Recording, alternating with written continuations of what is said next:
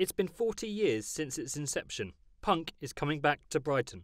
That's because nationally recognised photographer and Brightonian Ian Dickson is showcasing his finest and punkiest photos.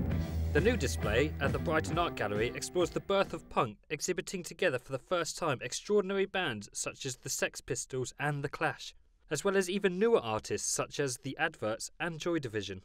Ian was at the front line when UK punk exploded onto the scene in 1976. With his camera in hand, he documented the lives of one of counterculture's most intriguing and at the time controversial scenes.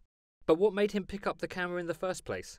I was working in Sunderland up in the northeast of England, uh, graphic design, and I bought a camera one day on the spur of the moment, and uh, I got hooked on it.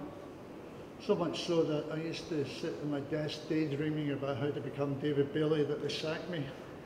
So um, the day after they did that, I decided I was going to become a, a photographer.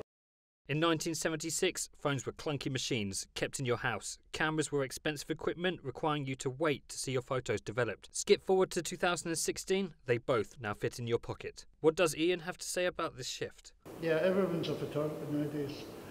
But uh, there's no music press anymore, so music photography is a dying art, if it's not already dead. This is Dale McCartney for the latest TV news.